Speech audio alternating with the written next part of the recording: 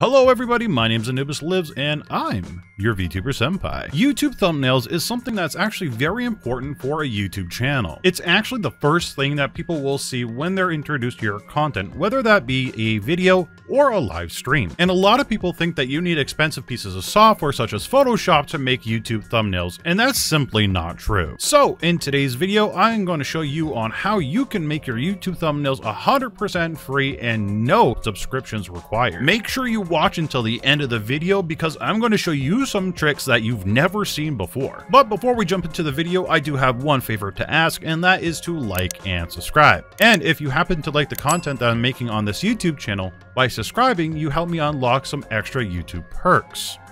Alright, now let's get into the video. Okay, so the first thing we're going to do is actually head to a website. The website is spark.adobe.com. Links for this website and all the software I'm about to mention in the description bar down below. Okay, so now that we're on Adobe Spark's website, the first thing we're going to do is click on this little button on the top left hand side, the little plus blue button. Okay, we're going to click that. Then we're going to go to custom size graphic. Now that we're here, we're going to click on social post. And then you're going to see one here that says YouTube thumbnail. We're going to click that and then we're going to click next. It's going to load. And then once it's loaded, we're going to see on the bottom right hand side that I'm covering up, it says Adobe Spark. You're going to click that. You're going to click remove once. Don't worry, it's going to stay away forever. Okay, so now that we have a blank canvas that we can work with, we can add things like background photos, text, and so on and so forth. So the thumbnails that I tend to make on YouTube tends to be some sort of two-tone thing. Some nice image like a city skyline in the background that's a little bit blurry, and then a slash of purple down the middle or something like that.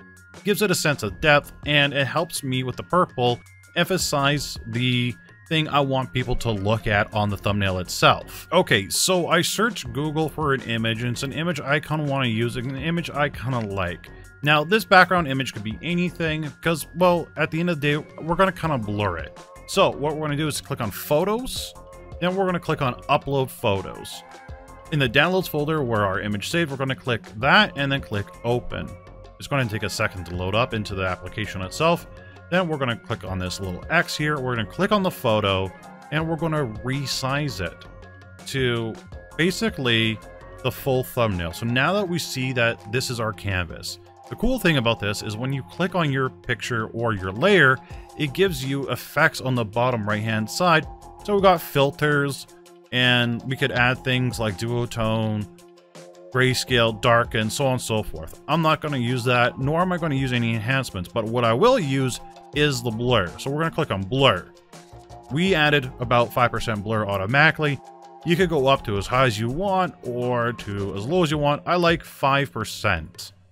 That's what I'm to do. So now that we have our base there, we got to add our gradient image, the blue to purple, and we can actually find that for free on Google. Okay, so now that we're here at Google, we just typed in blue to purple gradient, and you got a lot of different results. But what we want to do is make sure it's free for us to use. So what we're to do is hit settings. We're to go to advanced search. We're going to scroll down a little bit and under usage rights, we're going to click on Creative Commons license and then click advanced search.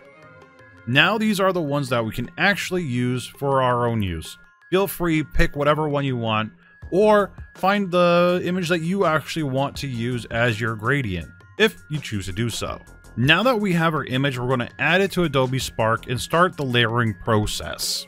Okay, so now that we're back at the site once again, what we're going to do is we're going to click on our photos again. We're going to click on upload photo. We're going to click on our untitled image and then we're going to click open. We're going to give it a second to open here and then once it is, we're going to click on the little X sign on the top here. And we got this guy right here. Perfect.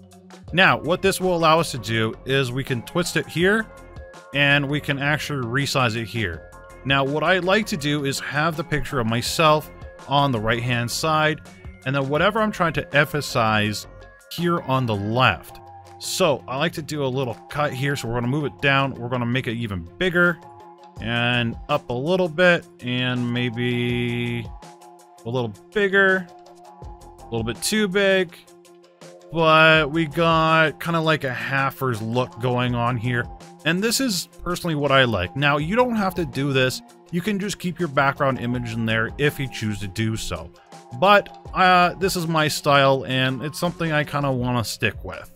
Now what we gotta do is we gotta either add the image of ourselves or the stuff we want to emphasize or even the text. So right now, we're going to work on the image ourselves using a combination of programs, one being GIMP, another one being our avatar software itself, and another one using a particular website. Okay, so now that we have the avatar that we want on the screen, we got to take a little picture of it. Now, this is my method of doing things. You don't have to do it this way, but this is how I do it. Right now, what I'm going to do is I'm going to open up a program called Snip. Snipping Tools is a fantastic little screenshot program. So I'm going to make my pose. I'm going to smile. We're going to click New, and then we're going to drag and stop where we want it. So now we got the image that we actually want. We're going to go File, Save As, and we're going to save it right here on, let's say, the desktop, and save. Okay, so now we need to either remove our checkered background or our green screen background from the avatar. And this, we're going to use a website for, a free website. Okie dokie, so the free website that we're at is photoshop.adobe.com forward slash cutout. What we're going to do here is we're going to click on upload file. We're going to find the file we need, which is this one here that we labeled capture. We're going to click open. Right now, it's automatically going to remove the background from the image. The great thing about this website is you can remove the background of any image. So say you find an image on Google you want to use on your thumbnail, just drag it into here and the image will be removed automatically. Now that the image is removed, we're going to click on download. We're going to click apply and it's going to let us download in the PNG format and that's it. The background's gone.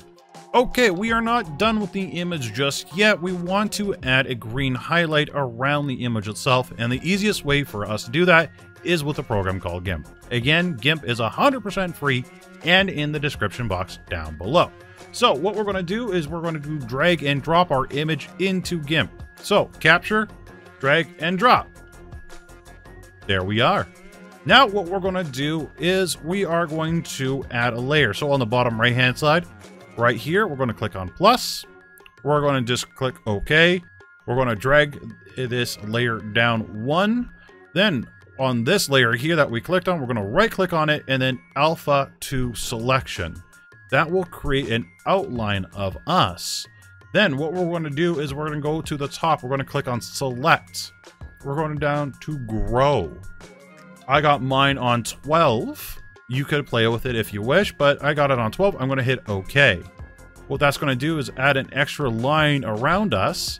We're going to hide ourselves. We're going to click on the other layer down below. And we are going to use our bucket, which yours is going to be on by default. And we're going to dump green into it. All right, so now we got green. You could change the color to whatever you want by clicking on it, but green actually really catches a lot of people's eyes, so I suggest that you use green. Now, what we're going to do is click on select. We're going to click on none. Then we're going to right click anywhere that's green. We're going to go down to layer, or sorry, we're going to go down to filters, blur, Gaussian blur. Then what we're going to do is we're going to play with it. We're going to click plus, plus, plus, plus, plus until we get a nice blur effect. What we can do in the meantime is we can add our image back. So just click on the little eyeball there to add ourselves back in. And look at that. We got a nice green blur of us. I kind of like it like that. That's what we're going to go with. I'm going to click OK. Now that we got the image that we want, we're going to go to File, Export As, and then Let's just keep it the same. Capture one, export. I don't care about the older image. I'm going to replace it. It's going to export that, and we are going to import it into Adobe Spark. Okay, so we got a lot of the long and tedious stuff out of the way. Now the next few steps is going to be actually a lot quicker. Alright, so here back at Adobe Spark, what we're going to do is add our photo of ourselves. We're going to click on that. We're going to click on Upload Photo. We're going to find our Capture One with the green highlight. We're going to click Open. Once that is open, we're going to adjust it and we're going to move it to the position we want. So we're going to close that little X, we're going to click here, and we're going to adjust ourselves to the size that we desire. Now, what we do have here, if your, for example, person is behind a layer right here, layer order, it, you can move it up or down. Uh, I obviously suggest that you keep it up. And don't forget, thumbnails are really, really small. And one thing I do want to point out, bottom right hand side, you want to avoid text or anything like that because that's where the timestamp is. Top right hand side is a little bit of YouTube options when people highlight their mouse over it. So bottom right, top right, you kind of want to avoid stuff. Top left, bottom left, or even the middle, you're golden. So right now we're going to add our text. We're going to add text here. The ones that are marked yellow is something that you got to pay for. But anything that doesn't have any markings, you're good to go. So we're going to click on the everything will be okay. Once it's loaded, we're going to move it and we're going to adjust it. And we're probably going to actually change the color to something that's nice and bright. Yellow tends to catch a lot of people's eyes. So I'm going to go with yellow. We're going to slant it just a little bit by clicking on this little icon here. We're going to make it a little bit bigger. Uh, we're going to then double click on everything will be okay. And we're going to click on up, or we're going to not click, but type upgrade your thumbnail. Then we're going to click done. But we are not done with this thumbnail yet. I want to add an example from an old crappy thumbnail to something that's nice and enhanced, something that's click worthy. So what we're going to do is I'm going to grab some photos, uh, upload photo. I'm going to grab my old photo. Once it's loaded, we're going to resize it real quick by using the little bars here. Uh, we're going to resize it. We're going to make it a little bit small. And as you see, the word thumbnail covers it. We can actually change the layer order from here to one below. But we're going to do that. We're going to tilt it just a little bit because we love tilting stuff. Make it a little bit bigger. Then we're going to add the new and improved thumbnail for this particular video, Max Res Default. And we're going to let that load. Boom, boom, boom, boom, boom. There it is. We're going to, again, tilt it. We're going to close here. We're going to move it. And I want to add a little red arrow to it to show a progress from here to here. So we're going to click on icons. We got arrow already typed in, but you could type in whatever kind of icon you're looking for. And we're going to scroll through an arrow that probably is going to fit for us.